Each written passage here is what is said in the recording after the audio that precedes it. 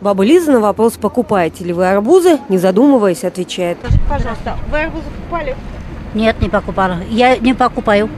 Своя у меня поместье, это успеет начало августа. Не покупаю я. А сейчас думаете, они полезны? Нет, ни к чему. Здесь она говорит не для того, чтобы покупать, а для того, чтобы продавать. Но чудо-ягоды июньского сбора, казахские и узбекские, по словам продавцов, пользуются спросом и охотно делятся советами, как правильно выбрать арбуз. В арбузе должна быть желтоватая сетка. Вот полоски есть у арбуза, а вот сетка есть между полосками. Сетка должна быть желтоватая. Желтое пятно у любого арбуза есть.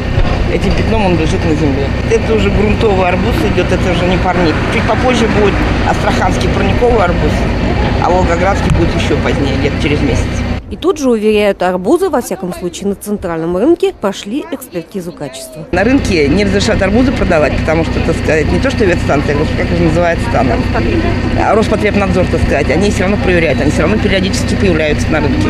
И у нас еще вот здесь вот есть ветеринарная лаборатория, они должны обязательно заключение дать. Если внутреннее содержание арбуза и проверяли, то внешних нарушений сходу можно назвать несколько. На арбузы зачастую у продавца нет никаких документов. Верить придется лишь написанному на ягоде. Точка должна быть удалена от проезжей части не менее чем на 25 метров. И ни в коем случае ягоду нельзя резать. Это прямой путь к кишечным инфекциям. Но рынок по части нарушений – это только цветочки. Настоящие ягоды здесь, на трассе. Лежачий продавец, как полицейский, целый день на посту. Скромно укрылась, а на просьбу показать документы не откликнулась. Скажите, пожалуйста, есть сертификаты у вас, бумаги? Есть. А покажете? Нет, не покажу.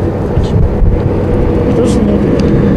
С грязными руками, но с чистыми помыслами угостить проезжающих недорого арбузами и дынями она уверена, ничего не нарушает, ведь ее никто не проверял. Документы, кроме нас, говорит, никто не спрашивал. А купить по пути арбузик, впитавший в себя все выхлопы и выбросы, желающие найдутся. Лилия Гарифульна, Денис Кузнецов. Время новостей.